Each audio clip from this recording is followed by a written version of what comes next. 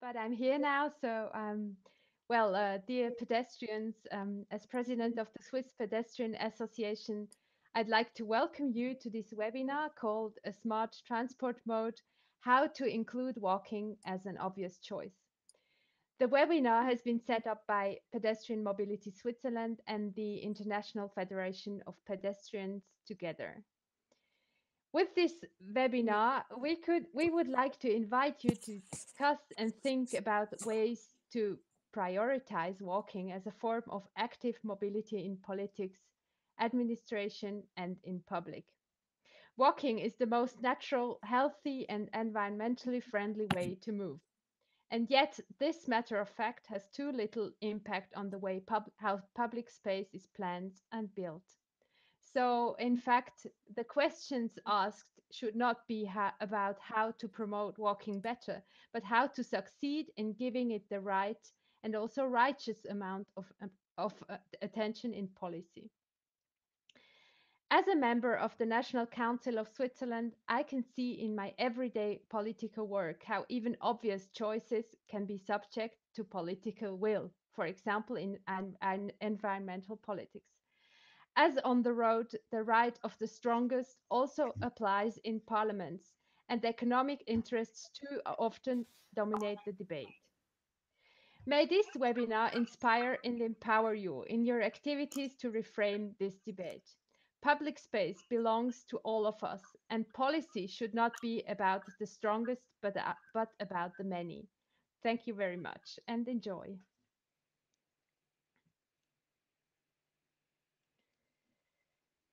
Hello, uh, I'm Mario Alves, International Federation of Pedestrians. I'll be moderating the session. Uh, I start to apologize to Michael and Sarah. I didn't realize that I had to allow you in, but you are in now, so good to see you. Uh, and uh, next, uh, we will have uh, Monika that will make a short intro to the, um, to the webinar. Please, Monika, the floor is yours.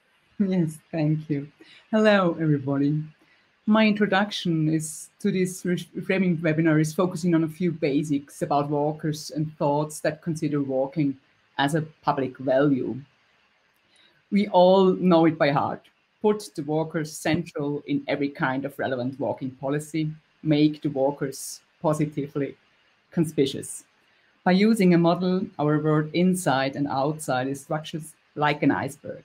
You have on the visible tops top aspects like concrete behaviors and structures. This, you see people walking in cities following specific rules and discipline.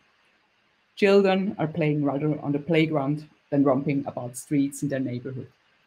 Obviously, the frames and the design to move freely and joyfully as humans on foot are mostly not given but restricted by the dominant mobility dictate. The needs which lie under the surface of every iceberg are not satisfied, but there lies the true power. People are craving for doing something meaningful. People are longing for social interaction. Everybody wants to be connected with others. Walkers are enjoying being active and experiencing their own well being. In doing so, a walker is also practicing democracy while seeing others, different people, and while being seen in the streets. On the top of that, or the bottom, as a walker, you make a meaningful, meaningful contribution to the preservation of the natural basis of life. This, the experience and the right to walk safely and happily, is rooted deep in every human being, also in time of digital penetration.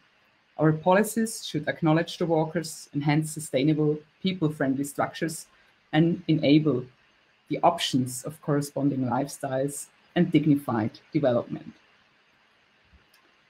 The next point I am addressing is more societal or common. Mobility is subjected to the concept of scarcity. This shows a value of mobility between economy and morality. The guidelines are money and subjective preference. Mobility was made into such a value hundred year ago, hundred years ago. Thereby, mobility can be used as a commodity or made scarce. There is no orientation to itself and to its effect on the public. The alignment is made with the expected instrumentalizations. Mobility becomes an object of speculation. We know the players, the car and oil industry, and a certain idea of freedom. Let's question these dominant car-centric fundamentals. I'd like to conceive walking as a practice oriented to itself, not to a shareholder value. Mobility as a practice is happening in public space. Therefore, it is important to realize once more that streets are public spaces. These nerves of every city are our living spaces. The last year has shown so impressively. Public spaces are an enormous resource not only for people, but also important for cities and to society as such. A characteristic of public spaces are processes of inclusion and exclusion. They are manifesting along legal, economic, social, and symbolic, symbolic dimensions. Mobilities are part of these processes. Most of the modes, namely car driving, are highly exclusionary and destructive. However, walking as a high, highly inclusive mode of mobility, sustainable, people-friendly, just. This means walking is contributing not to more social justice, and in doing so is generating a public value. Such a value is key for any space that wants to be public. Politicians, in co-creation with public administrations, private organization, and civil society, enable or prevent such public value. There can't be another goal for a public space than the importance for the societal social fabric and the shareholder value for the society. Walking holds this special value, therefore walking is far more than mobility. Thinking beyond mobility is possible. There is no need for superpower. Ask other questions instead of fighting within the dominant hierarchy of mobility for the first place. To turn the system around, we need to think outside the box for socially sustainable progress. Trying out this principle of reframing, I am starting with data. We know the slogan, what is counted counts, but we also know numbers only become impactful within relations. And even more, we know that facts alone related to context never convince people. In addition, we know the importance of story, stories which trigger our emotions and which are the base of decisions. This using existing data from Switzerland, we declare with emphasis walking benefits 900 million, billion Swiss francs every year to the society. Driving does not bring a single franc, but is co costing us 9,617 billion Swiss francs every year. If there is data about external benefits of walking in your country, use it wisely and reframe it. A second possibility to revise data of walking. As far as I know, Switzerland was one of the first countries not only counting the routes as main mode of transport statistically. So based on, ex on existing data, we can discuss which answers lead to public value. Accordingly, stages certainly play a bigger role than distance and speed. The scarcity of time and space does not bring any value to public. Stages of the modal split or other qualities are more meaningful. I'm thinking also about the time experienced when walking or riding a train.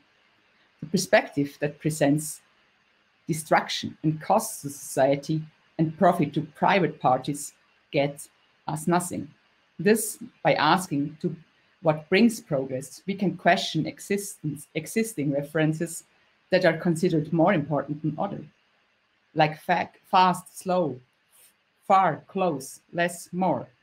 In doing so, we can set a new frame of reference. Further, we can use the existing stage data of the modal split and combine it with the density at places of residences. The denser neighborhood, the higher the percentage of walking. Certainly, walking is also related to infrastructure, other qualities of public space, and public transport for larger movements. This combination of data could be added to this data could be added that more than 50% of the households in the bigger cities do not own a car, rising trend, and another paradigm shift. Local authorities have an interest in producing and offering living spaces of quality. As, national, as a national organization, we honor good design and infrastructure that allows walkers to move freely and respects walking as a public value. The focus of this prize has shifted over the last three decades a bit away from road safety to qualities of public spaces. The partnership we have with a magazine of design also contributes to the reframing process and allows to tell a positive story. Every catalyst of transformation knows about the importance of iteration, and we all know there is hardly a direct path to a destination. This means we have to be persistent and creative. Also, we can trust in the power of alliance, alliances. At the moment, we're observing new types of cooperation. Various public engagement is transform transforming realities. During the last year in the pocket park around the corner, maybe with methods of tactical urbanism or with a simple appropriation of a wall as a bench to gather or to have a break. These new partnerships behind the small ongoing transformations are often not officially established, but there is an important intangible quality which also invites to look beyond mobility Thank you for invitation. This was the warm up. Warm up, Geert. Floor is yours. yes, um, thank you, Monika. Um, next will be uh, Geert from the International Federation of Pedestrians. Um, uh, yesterday, I asked uh, Monika to understand what she meant by meta mobility, and I think I get, got a good lesson here. I, I really fascinated by the subject. Uh, Geert, can you share your screen? And I forgot to tell you, uh, you can ask questions or in the Q&A or in the chat, and I will be um, summarizing to the speakers. So put questions you have for the speakers, and um, they will we will have time to answer uh, in between presentations. Geert, you can start. Okay, thank you, Mario. Am I uh, sharing my screen for the moment? Yes. Yes, you're fine. I can see you. Okay, thank you. So, um, uh, thank you, uh, everyone.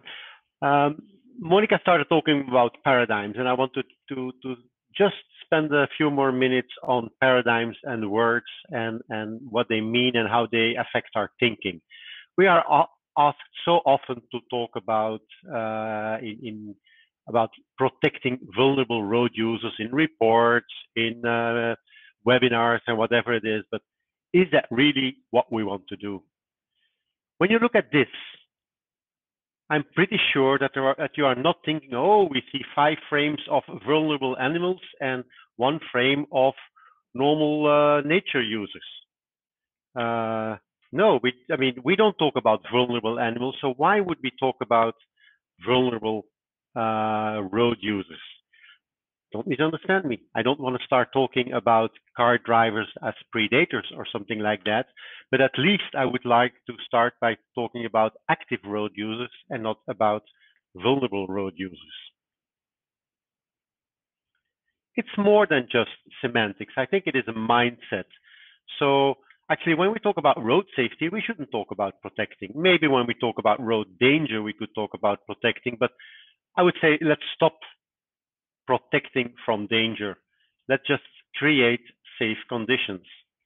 And we all know that uh, for active road users, speed and space reallocation are a very important determinant of uh, road safety. Um, but one of the things we often forget is the user mix. And there is this very nice book from uh, Marco te Brömmelstroet and uh, Thalia Verkade, The Right of the Fastest. It's only in Dutch at this moment, but it is being translated at this very moment. And they are basically not looking so much at who are the victims uh, of our road system, but they're looking at which is the the mode of the third party involved in fatal crashes. Here we're talking about fatal crashes. And basically, they find that 96% of the third parties are um, motorized vehicles. So let's not forget modal shift is road safety. Um, and let's invite um, low risk generators such as pedestrians, cyclists, and public transport users um, into the cities. What do we really want to? Do we want to have the picture on the left where basically well protected children in high visibility are crossing a protected crosswalk in Sweden? Or do we just want to enjoy some tapas in Barcelona and have these little kids cycling around there, unattended or attended from a distance? So I want to stress we don't need to protect the vulnerable road users. We have to invite the active road users. You can even go a step, further. And when you Google safer roads, this is the screen you get. And work with me, who of you sees here a pedestrian or even a pedestrian or a cyclist infrastructure? I thought I had seen some uh, cyclist infrastructure on the top left, but actually this is motorcycle infrastructure. So a lot of people talking about safer roads and they show beautiful pictures and they show high speed. They don't mention anything about speed. They don't mention anything about uh, space reallocation. So should we think about safer roads? When we Google exactly the same thing, safer streets, safer streets, these are the first pictures you get uh, in Google a few days ago. What do we see? We see things about speed, we see people, we see safer streets for everyone, we see uh, some stuff about personal safety, uh, we see pedestrians, we see stronger economy, we see people. This is a totally different thing. So what would we be, what should we be thinking of? About engineering safer roads? Or should we talk about streets and stronger economies and people and whatever uh, you can think about? So I would like to change our paradigm in inviting active street users or, or maybe active uh, public uh, space users. So do we want to have the, the, the, situations on the left where we have those beautiful guard rails or in the middle where there even, even is a kind of a, a barbed wire uh, to keep pedestrians safe? Or do we want to have, like we see in New York, the plazas, uh, just kind of, these are inviting people I remember when these plazas were installed in um, in New York with very simple means to start off with.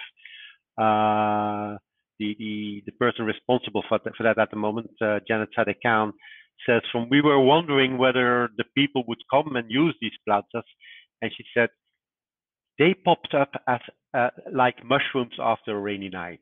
So that is really what you can do with with uh, with your infrastructure, with your inviting cities. So that brings us to the theme of our uh, webinar here, Smart Transport Modes, how to include walking as an obvious choice. And I'm, I'm very happy, excuse me, it's happening in, in many cities already, and we will have one an example of one city that uh, that does it since a while, quite good uh, about Bremen. Uh, that will be our next presenter. Thank you very much. You, Geert. Um, I also, um, I insist that questions in the in the chat or in the Q and A. Um, we already have one from Dieter. Um, it says, "Geert, uh, I liked active users instead of vulnerable. Where should we act together to get this change done? Uh, we have about five minutes for answering some questions uh, while Michael can start uh, sharing his screen and then we'll talk a little bit about that. I remember that uh, we started, when I started working on mobility, was non-motorized mode. So pedestrians and cyclists were characterized as what we were not, which is not really a, a great term. Uh, mm. Where, where should we start uh, acting together to, to this change? well, first of all, I mean, we, we should, should every time use it. And, and if we're asked to talk about vulnerable road users, we should kind of uh, refuse or ask to change the title or whatever there is. Um, there is also some confusion on there. I mean, vulnerable road users is typically considered as motorcyclists cyclists and pedestrians. Yes. And and, and yes, motorcyclists are also vulnerable. Uh, and and I'm not saying that pedestrians are not vulnerable in the current situation, but we I mean we don't want to go under this uh, umbrella of, of vulnerable road users. Uh, active road users, even there, there might be some some uh, confusion. I mean, are that cyclists and pedestrians, or do you take public transport users also in there? You could talk about sustainable road users or, or street users or whatever you want to do there. But uh, but but for me, active road users uh, is, is typically pedestrians and cyclists, and and and their range extender, which is public transport. Thank you, Geert. Um, yes, valuable road users or desirable road users. Just uh, use a term that uh, you know that. Uh, and actually, there is another uh, question because we are a little bit ahead of time. It's not a problem, which is uh, the fact that we are always uh, pedestrians and cyclists at this, you know, in reports, we always speak about pedestrians and cyclists. Uh, it's a great alliance, uh, but uh, we have to recognize that we are very, very different users. And I think that's something that we should be aware when we write reports or a paragraph in our reports that cyclists and pedestrians are very different from each other. Um, so I, I, fully, I fully agree with you, Mario. I mean, there are certain things where we uh, both benefit from. I mean, like you you mentioned, uh, uh, road uh, traffic calming and things like that is very important for both cyclists and pedestrians. And I mean, and I have, I prefer to have 100 cyclists than to have 100 uh, cars yeah. around me. So uh, yes, I mean, we we are we are different, but but but we are kind of we, we should be working together, and I think we do it quite well. We should be careful that when people think about active uh, road users, that they don't think 95% about cyclists and 5% about pedestrians. You're absolutely right in that. Good. Monika, uh, you spoke about the meta mobility and things that are not really valuable. One thing that fascinates me is about uh, pedestrians uh, adding social capital. I mean, you meet friends, you meet people that you don't see for a long time. That's something that during quarantine we missed a lot. So that's something that you know people can actually um, create ideas, and I think that's what cities are for. Would you like to uh, to speak a little bit about that? Uh, we still have a bit of five minutes uh, to keep our mm. our yeah. our social capital. You know, in terms of people meeting each other in public space, it's actually something that is very difficult to value in economic value, but it's uh, it's mm. actually what cities are for uh, to people actually to meet and to exchange ideas. Yeah, I think there are different aspects about it. On one hand, as I've spoken uh, about, I have spoken about public value. That's why I'm I'm always using this this notion. But you could also talk about uh, commoning, about the social capital. You can frame it in, in in different ways. The important thing is really what it mm, or, or, or, or the, the potential of the social potential of for a society and as you told us before, yeah, there is no money in it, not visible money, but the value is way, way bigger than than just money. And I think that's a possibility to escape this this uh, money logic of mobility. And important for cities, especially, um, is social interactions, but also for for the people, because after the, the the, the lockdown, or in Switzerland, it was half of a lockdown. Um, the people from the countryside, young people, old people, they really they came to the city because they they were longing for social interactions. They they like to perform just to be seen on stage, and, and they, they had to check is society still alive? Am mm-hmm. I still alive? And this this feeling and this desire is really strong. I think it's really a need and it's you can see it in in in in, in urban environments because it's also a quality of, of of urbanism let's say like that. But it's also important in in um, on the countryside. There you have a smaller scale but in the middle uh, at the core of every village this kind of interaction is also important. I think that's um, good, good.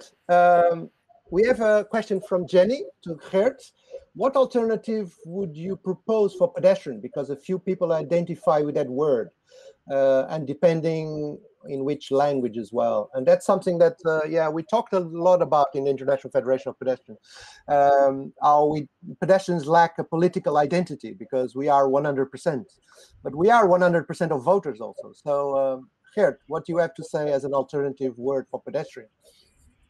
Well, okay, there's the obvious word walker, uh, and, and everyone has this kind of uh, preferences from from uh, do you prefer walker, walking, pedestrian? I mean, for me, it's kind of pedestrian is a little bit more uh, functional. If you want to walk, you can be a little bit more recreational. You think a little bit more about the about the countryside on a walker, even though in the city it's also a walker. So I mean, and and then in different languages you have different uh, terminologies. I mean, I can't care too much to be very honest, uh, but but I I mean I, I'm open to to whatever you propose there. uh, Veronica um, uh, tell us that uh, I think we should check our recommendations in Austria, the National Action, Action Plan recommendation and so on, uh, and rephrase some formulations. And I think we are still going on about language, which language is very, very important when we're changing paradigm um, and at least rephrase expressions. Uh, also to integrate public value, social capital, and all that uh, things that we just talked about. Okay, I think uh, we are two minutes uh, early, which is fine, which is great. Uh, so, Michael, can you just start speaking about your experience in Bremen? Yes, um, I'm on my way. Just um, yeah, what I would like to do with you is, oops, now something is happening here. That should not happen. Um, I would like to take you to another facet of the uh, entire topic, and that's the link between a potato and space science. You may wonder how this comes together, but as soon as we talk about public space, you will see there are a lot of hot potatoes on the way.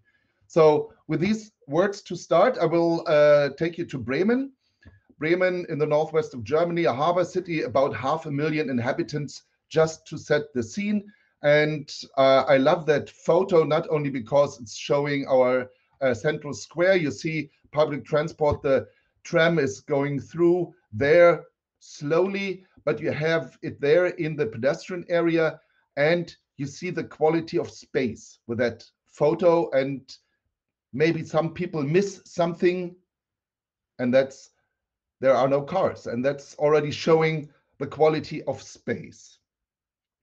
Um, when it comes to the modal split, and Monika talked about it in the in the very beginning, um, this is the main mode of transport.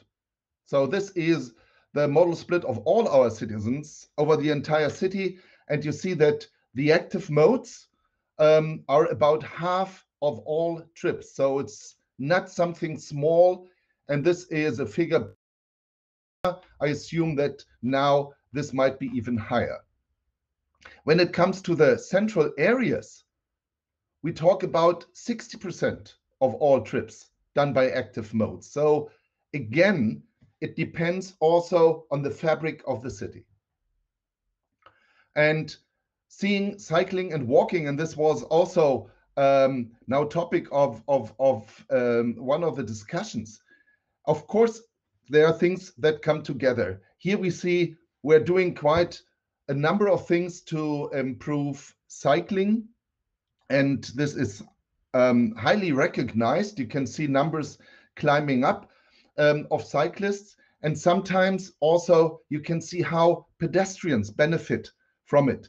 Here, an example um, that we had previously separated small bike paths, but very close to another small sidewalk. And we changed it to a cycle priority street. So everything that has wheels is on the lane. We don't call it car lane, it's the lane. And you see the benefit and it's also more flexible for cyclists. And we have up to 8,000 cyclists a day and 4,500 cars. So you see that you can change things and even make it better also then with side effects on the sidewalks. But that's not why it's called side effect. So conditions for walking, and I took you a little bit from heaven, now I take you to hell, if you want to say so, because it's also our city and it, let's say it this picture that you see now, this was a situation before we changed something. And I um, would like to show you this picture. You see here the, the mom with a child at the hand. And then next photo, you see she has to take the kid on the arm to get along this parked car.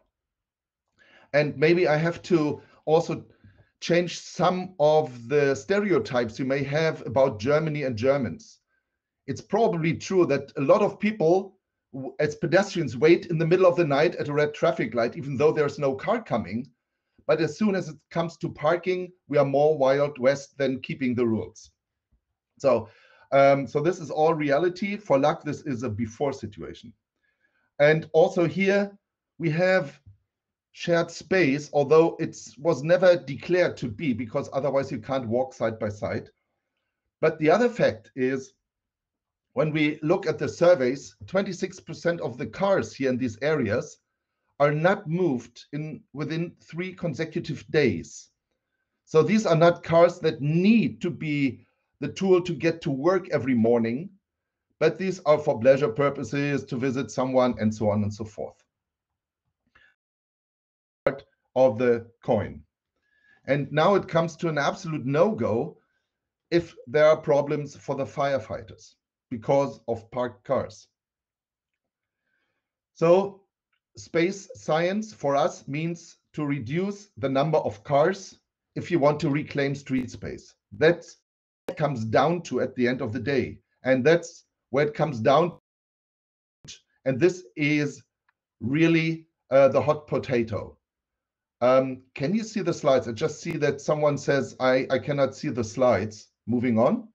Yes, we can. I, I can Okay, then, then it's not the problem on my side. So reducing number of cars, that's the hot, the hot topic. And when you come to discuss um, these issues, it's also a question, whom are you going to involve in participation? The usual format are assemblies in the evenings. This is not the usual format where you can get families to because they have to take care for the kids. You don't get the kids themselves. So what we did in participation, we got on the road. We got into the streets and we wanted to talk to people there. And um, then you are able also to involve families. You are able to involve people with kids. And you get also different pictures than the usual formats, uh, the conventional, traditional formats of evening assemblies. And that's the word cloud um, that uh, came out of our uh, participation process. And you see illegal parking is number one, but parking pressure, of course, the other side of the coin, that people say, hmm, where shall I park, is also a problem.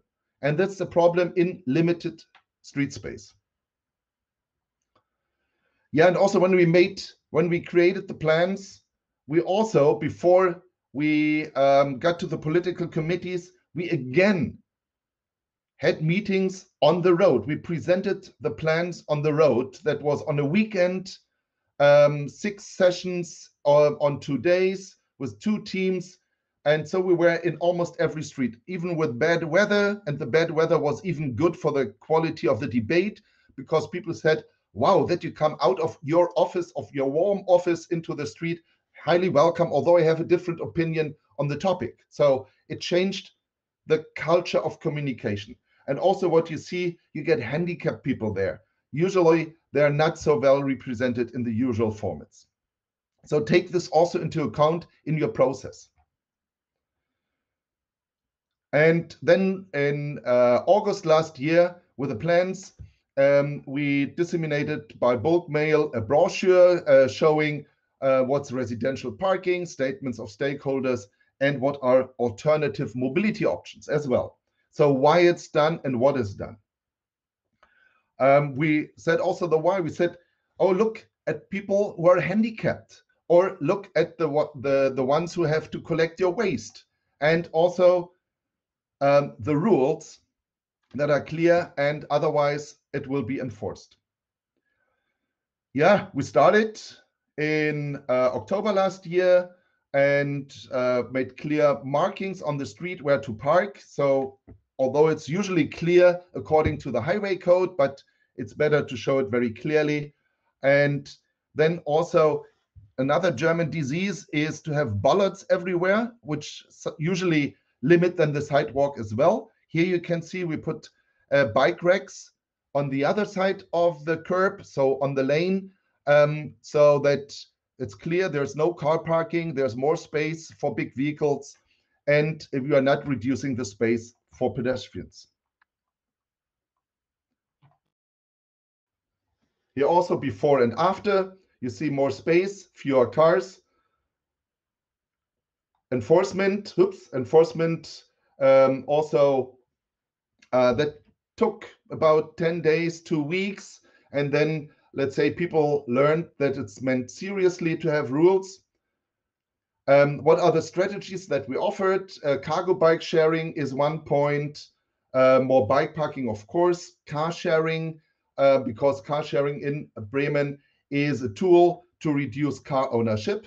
Every car sharing car takes 16 cars off the road. And Udo, our little hero, stands for use it, don't own it. He prefers to chill instead of changing winter tires and all that kind of stuff. And you see the type of car sharing stations that we implement in these neighborhoods. It's growing uh, very well. We have 20,000 users, but more important that they took off uh, 6,000 cars off the road.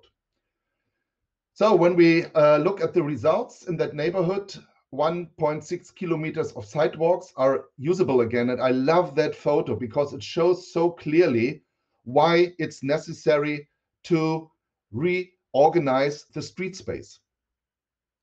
And but we took out about 100 cars. And this is our fan club as well. Yuri from Omsk and his uh, waste collecting team they say now our life is much easier. We're saving time, and this is our work time. So also think of these people, and they are supporters of your ideas. But reactions are, of course, also there that people say this is all bullshit. Where shall we park? So that's um, very ongoing, intense debate in the media as well. And also we see reactions in windows that people say this is a very good solution. Finally, no parking on street. So this is very controversial still. It's a hot potato, but someone needs to touch and to start and to cook this potato, and uh, then there will be a good solution. So that's the little report from Bremen, and I hope to see you, and we will take a walk then here, and you see what are the changes. Thanks for your attention. Thank you, Michael. Uh, excellent uh, presentation. Um, we have a very active uh, chat here. Um, let me go through some of the questions. Jenny um, asks a very interesting question that a lot of activists and advocates of pedestrians ask, and cyclists also. Should we rephrase our goal in uh, should we rephrase that our goal is to reduce the number of cars with something like increase the quality of life. So be be positive instead of negative. I think that's what it means. Uh, but then, is it clear enough what we needs to be done? I think this is a very uh, question that a lot of activists struggle. Uh, shall we go for a negative message or just for positive message, Michael? Well, it's, it's the same thing as as in the debate that we had a couple of minutes ago. Um, you have to be clear uh, what your goals are, um, and the the goals are not primarily to reduce the cars. That's only the tool. Um, yeah. Um, we have anyway to reshape mobility for the future. Um, we have a number of tasks that uh, have to be fulfilled uh, in street space. That's not only transport function, and I include in transport function also walking and cycling and uh, all the other modes. But there's communications. There is it's a social space for children to play in front of the uh, house. And one thing that we also have to take into account is climate adaptation that becomes more and more important. Just to make reference to Vienna and cool streets. Yeah. Um, so there is more. Um, we here in the north, we don't have so much the problem of heat. It's coming. We have more torrential rain sometimes. So also there we have to deal with and to reshape street space because of these reasons. And um, street space is extremely limited and a, a scarce resource and uh, nobody wants to live on a on a parking lot so to bring this together and it's always a kind of compromise and you won't be everybody's darling especially when you're dealing with these strategies. That's also clear. And uh, you need brave politicians but also you have to do your communication as i try to show in a way that's more dedicated that you involve these groups, yeah, I call them now also again vulnerable, that they raise their voice because usually these vulnerable groups are not well heard. The strong groups are the ones that can express themselves much better. Yes. Yes. Thank you. Uh, Sylvian um, says free up space for parked cars necessary. Uh, I think in a way it's just uh, what everybody knows that uh, public space is a zero sum game. You know, uh, if cars are there, pedestrians have less space. Uh, in the example shown, where do the cars go? I think that's uh, something Yep. that a lot of people were thinking about. Um, displacement of parking or shared mobility proposals measures to promote public transport, and so on. What is the role of public institutions in the management of uh, parking spaces in public space? Mhm. And this Yes. also goes to another question that is related uh, by Maja. Uh, say, thanks for the interesting presentations. Question: Where does the number of 16 cars removed per per shared car come from? I think these Okay. two questions can be answered. I, I start with the last point. Uh, Maya, if, if you like, I can send you the study. It's a study that was carried out 2017, 2018, so all before this corona um, impacts. And um, it's a very uh, in-depth study. We also analyzed things like uh, shopping behavior. For instance, 80% of the car sharers in Bremen don't have a car in the household. So it's replacing the first car and um, the frequency of going to big shopping centers by this group is only a fourth yeah? 25% of the reference group. So people do more shopping in their neighborhood and in the city center. So these are all things you can find in the study and i'm i'm happy to share that. Um, um, either um, i don't know whether there will be any documentation of of today. I can put the link there. Otherwise, just drop me an email um, and I will send you the reference case. Uh, where do the cars go? Um, you cannot expect that you can provide alternative parking in the same quantity. That's very clear. So you have to be clear on that as well. Um, first of all, shared mobility is uh, a crucial point to reduce the number of cars, as I tried to show. Bremen is a cycling city. So to improve cycling conditions is in these inner city neighborhoods more important.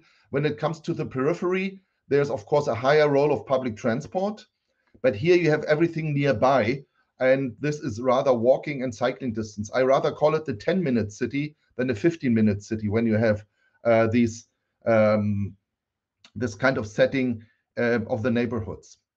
Um, so, and the, the, the other point is also um, we had a lot of free parking.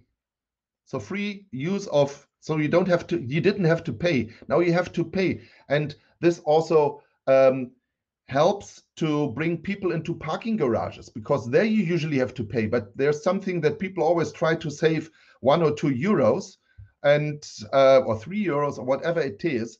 But now as you have to pay and you as a visitor, you can park only there for maximum two hours uh, then people go also in existing parking garages, which were not so much used before. Excellent. Uh, Michael, uh, two questions that are also for Veronica about the um, Austrian uh, strategy. Are those documents in English? Because a lot of our listeners. Yeah. Yeah, Yeah, we have Okay. we have it uh, in German and English. So whatever you excellent. prefer, you can get it.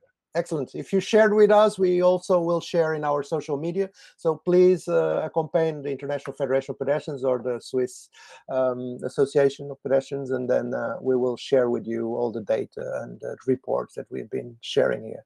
Mhm. Okay, uh, there was a shout out from um, Geert about uh, how nice it is to see charging places outside the sidewalk, which is something that is a tsunami coming to Europe and other uh, continents. So I think it's very, very important that we protect our sidewalks.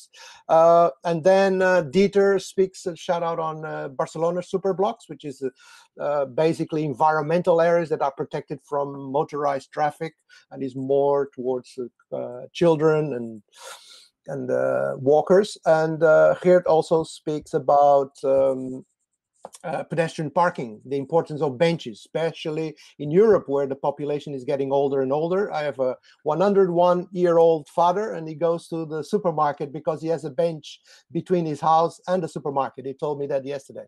So, um, my homage to him now. Um, okay, so now um, we have um, Sarah that will speak about the role and the importance uh, of legal frameworks uh, on international level. so, hello everyone. Thank you for giving me the, giving me the floor. So um, I'm going to talk, uh, as Mario just said, about uh, international road safety regulation and the importance to to um, to include and to promote walking when it comes to, to frame and to define these regulations. So it's also going to be a little bit about a, a case study because I'm going to um, talk about my experience as the um, as a delegate for IFP at the WP1, which is a place where international regulation on road safety are discussed and uh, defined. So um, what are we talking about? What are these international regulation on road traffic and on road safety? Here on the slide, you can see um, an extract of the 1968 Vienna Convention. And this is one of the main legal instruments at the international level which defines traffic rules and road users' behaviors. So here you can see, for instance, uh, chapter 2 rules of the road and uh, you have uh, some very basic stuff about the fact for instance that road user must comply with the instruction conveyed by road sign and signals or other rules such as the fact that uh, pedestrian should use uh, the sidewalk when there is one etc etc so this is an example um, of an international regulation, which is uh, very important in many countries, in many national states. Uh, the Vienna Convention is um, is at the basis of the um, the traffic rules in many many national states. So where are the, the places where these uh, international regulation about road traffic and road safety are defined? First, um, the United Nations uh, organization is a very important place where those conventions are discussed, and in particular, um, at the UNECE, which is the, um, the, the agency for Europe of the United Nations, and more precisely at the WP1, the Global Forum for Road Traffic Safety, which is um, a working party uh, where um, where we discuss about the, the 1949 and the 1968 Convention on Road Traffic and on other UN resolution on road safety. And of course, there is also at the European level, I would say uh, the, Euro the European Commission and the European Parliament, uh, where there are many um, regulations on road safety that are uh, discussed and defined. For instance, the General Safety Regulation, which defines the safety features of vehicles that are mandatory in the, Uni in the European Union. So all these um, conventions, agreement, resolution have a really have a very um, real impact on our daily mobility practices, on how road use is organized and orchestrated, and on what we are to do or what we shouldn't do as uh, road users. So these tools define rules, standards, best practices regarding um, road users' behaviors, road infrastructures, vehicle safety features, licenses, etc.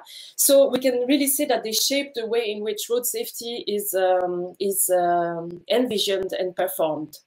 So um, they also have a, a huge importance for pedestrians and for walking in general. So it is very important to have a seat at the negotiating table and to um, to participate, to help frame these legal instruments and make the voice of and interest of pedestrians heard. So now I will uh, talk a little bit more about my experience as the delegate of the IFP at the WP1, which is the Global Forum for Road Traffic Safety. So first, a few words about the, the WP1. So the WP1 um, is the guardian of UN road safety related legal instruments, and more precisely is the guardian of uh, the conventions on road traffic and road traffic safety. It's a working party that gathers uh, delegates from, um, from countries that are contracting parties to this convention, that so that have agreed on this convention, and um, those delegates from um, those states, they gather twice a year in Geneva to, to discuss uh, and to amend and update those legal instruments. And there are also non-governmental actors such as NGOs, uh, but also representatives from industries, for instance, the car industry, or, um, experts from academia or from other UN agencies that are uh, attending those um, those uh, meetings and that are also contributing to to to to produce the legal legal instruments. Um, so maybe it's also important to to underline that the convention on road traffic they were uh, created in the post-war context where when the ownership um, of cars and the motorization of Europe was uh, at its peak. So it's also very, important to, to, to stress that um, these tools were uh, built in such a context. And um, even though um, these legal instruments are considered as very valuable instruments that should be revised very carefully. Um, there is nevertheless the sense that um, these regulations should be updated uh, to embrace the technological changes, the new mobility practices are a thing that is very important at the UN level at the moment, the Sustainable Development Goals.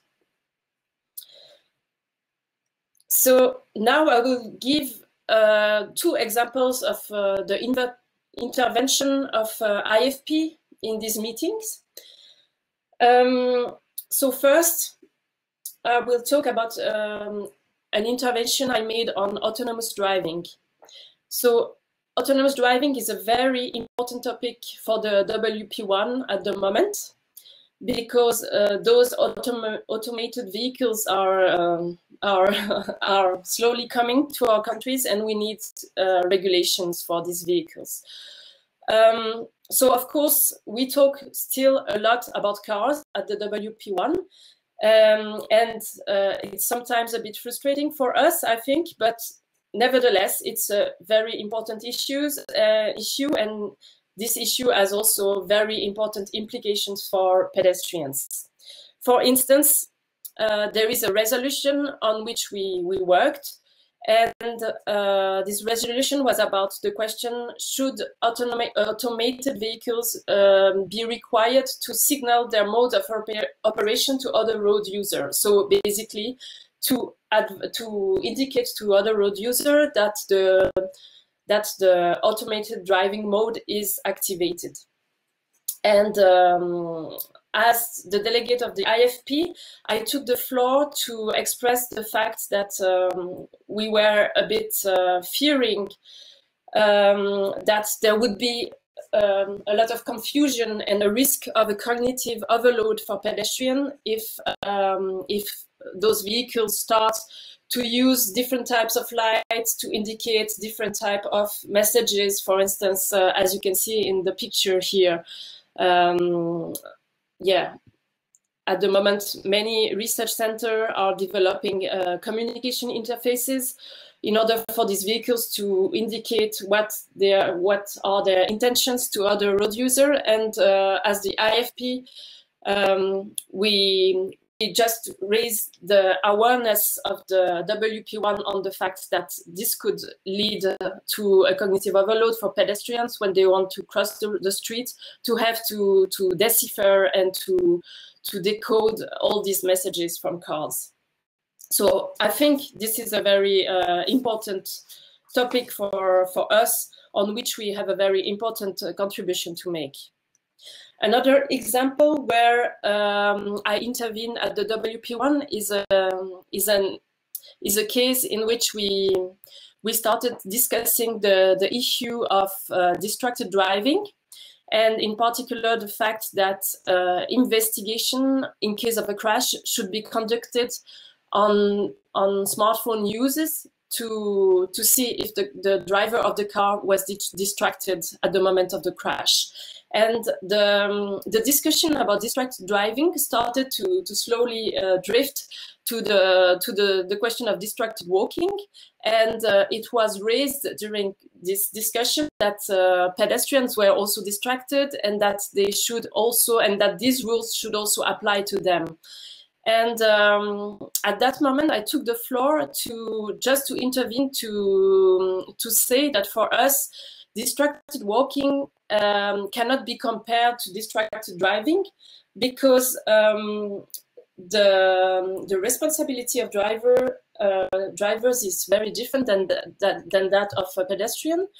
For instance, drivers are moving a ton of metal around them at a very elevated speed, and for that they must have a license. They must prove their ability, their mental and physical ability to do so, whereas pedestrians don't. And um, for us, walking is a is a basic human right, and um, and walking is practiced by all kinds of bodies and um, by all kinds of uh, neurodiverse uh, people. And this distraction somehow will always be a part of it. So instead of trying to educate pedestrians um, to be less distracted it's probably better to put our energy to create a public space that is forgiving of um, of those um, moments of distraction that could occur um, last. Sarah, can, can you round up in one minute, please? Uh, yes, sure, of course, excuse me. so the last slide, this is my last slide, just to mention that we are, the IFP is also active at the European level. This is um, something that my colleagues Mario and Geert are, are, doing. And for instance, I will just give a brief example. Um, they are, for instance, um, um writing um, comments and amendments on the the, the European Union policy on um, on safety, and also intervening on the implementation of uh, new technologies, for instance, the Intelligent Speed Assistance, the ISA, to make sure that this uh, new um, technical uh, regulation will be applied in, in the best possible way and as it was uh, discussed at the beginning. So this is all for me. Sorry if I took a little bit more time. And uh, just to conclude, I just want to say that um, it's very important for us to have uh, the voice of pedestrians being uh, heard at these meetings. Um, and to provide another narrative on mobility and on road safety uh, in those settings. Thank you for your attention. Thank you, Sarah. Thank you, Sarah. Uh, it's, uh, it's, echo. There is echo. I don't know why. There's a lot of echo on my side. Okay. Um, thank you, Sarah. It's always very uh, good and uh, it's never enough to um, remind everyone of the importance uh, of Sarah's work in the front lines. Uh, it's always good to hear the news in the front lines. Uh, it's very, very important. Um, there is a question from Jenny. Uh, what would be the next step uh, uh, or goal to reach in order that the United Nations road safety stakeholders join the new paradigm about walking? meanwhile, I apologize to Alessandra that I it under my panel, but I'm not used to this interface and I just got, she had to wait for me to let her in. So, uh, you can start uh, checking your screen and sharing your screen while uh, we uh, talk with uh, with Sarah to answer this question. Please, Sarah, what will be the next step you think we should be taken?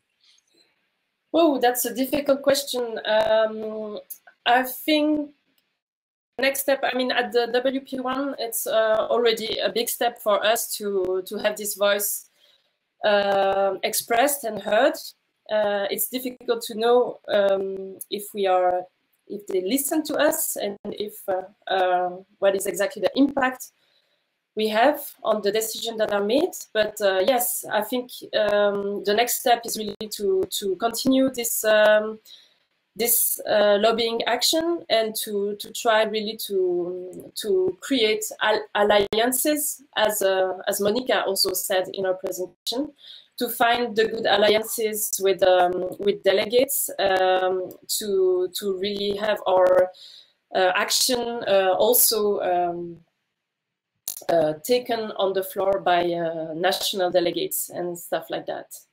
Okay, thank you. Uh, it's really a diplomacy work. Uh, we do know that uh, Sarah has those qualities, and I think we that's key to create alliances among the delegates. Uh, just uh, before Alessandra starts, Renata from uh, EPFL of Lausanne says that we do have researches on benches, but the results are still to be published.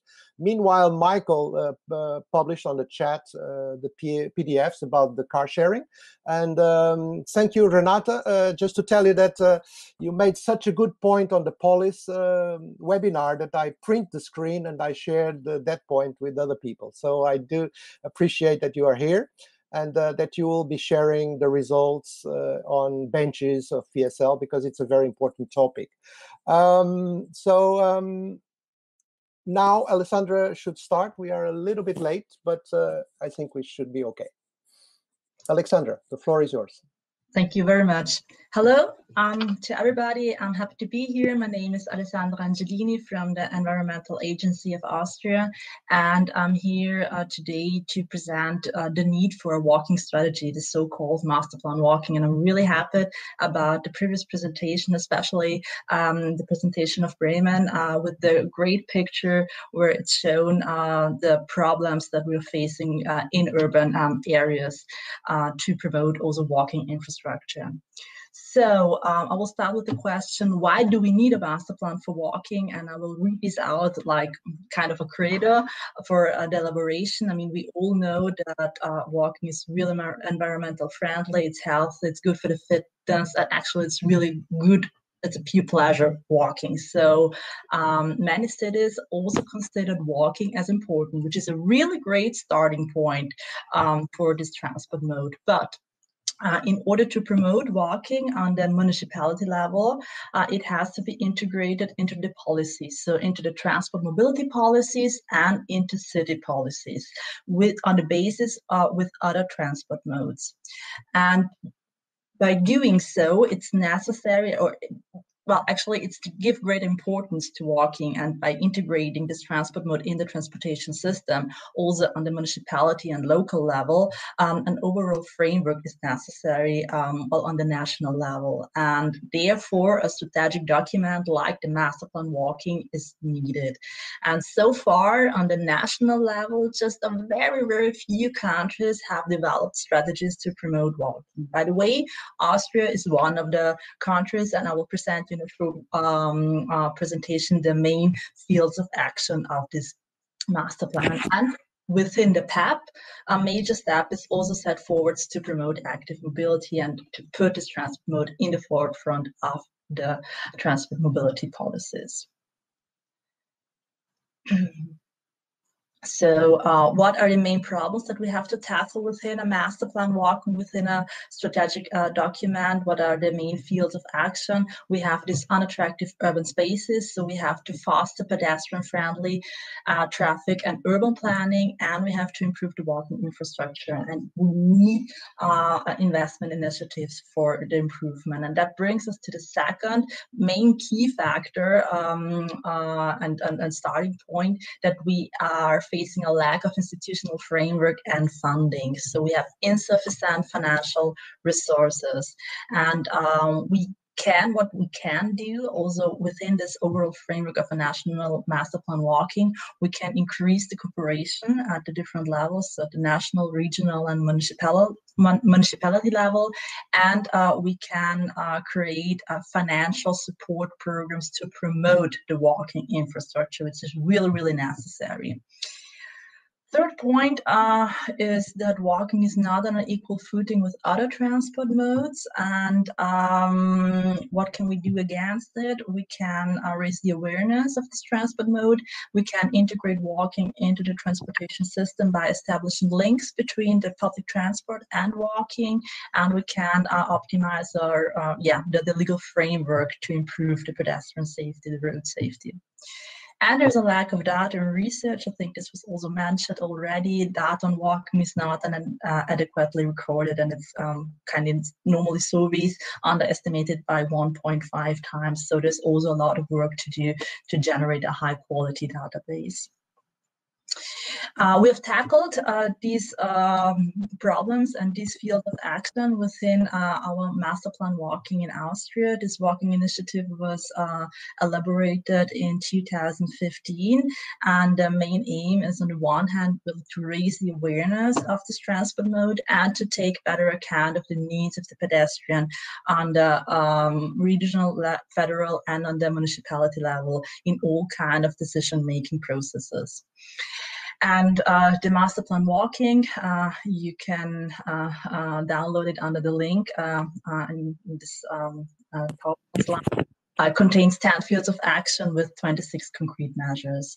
And um, to give you a short overview, what happened till the elaboration of this master plan walking uh, since 2015, so what happened in the last five to six years um, in Austria. So walking is, uh, first of all, integrated in the Austrian National Energy and Climate Plan and in the coalition agreement of the Austrian government. So there's a special focus on active mobility set in these documents. And we have also uh, a climate protect action initiative. It's called Klima Aktiv Mobil uh, from the Federal Ministry of Republic of Austria. And uh, they have launched this year a financial support program to promote walking infrastructure. So there is a funding for walking infrastructure now available. Um, we have established a nationwide working and coordination group on walking, um, uh, and there are different members, uh, for example, representative of the federal government, federal states, cities, and municipalities, and there are also various um, uh, stakeholders from organizations and interest groups, and there we uh, kind well, we, we are coordinating the different interests of walking and uh, we also uh, elaborated uh, some pedestrian friendly changes to road traffic regulation within this uh, working group on walking. So for example, we banned the scooters for the sidewalks. We also had some regulation about school streets, for example, and uh, we're still working on improving the road safety within the legal framework. And um, last but not least, um, um, nowadays uh, the master plan walking at the level of a city region um, of the city of Salzburg is uh, under elaboration. So uh, it's still in development and it will be presented within this year. I think in autumn 2021, it will present the first um, document the city and region level. With that said, I thank you very much for your attention and I'm happy to answer any questions. Thank you. Thank you, Alexandra. Uh, before giving um, the floor to Geert and Monika, that they will warp up uh, the, this session that is almost over with the conclusions, uh, I will just point out that uh, Marge from Mor Norway, I would think, says that they have a, a project, uh, Walk More, for uh, walking in small Norwegian cities. And she makes a point that is very, very important, is that uh, a lot of funding for research is always very much focused on technology. Mm-hmm. And um, and she uh, points out that uh, walking is actually quite um, can be quite good for smart mobility solution as a actually there is like walking as a service uh, almost as a joke that's something that could be could be a point of selling. But anyway uh, i think we should also not go so, through this uh, bite of technology, but I think Monika has something to say about that too. So Monika and Geert, can you just uh, conclude? And I think there is some links on the on the chat, and um, and thank you everybody to uh, to be here and to participate to the questions. Oh yes, um, Christian uh, on the question Q and A. uh, he was the only one that used the Q&A, asked if he could uh, get the presentation from Geert and from everybody.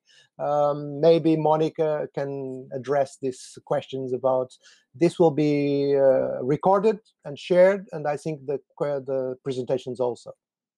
Monika? Geert? Yes, exactly. There will be a, um, a link, I don't know, next week to, to uh, rewatch, revise all the presentations.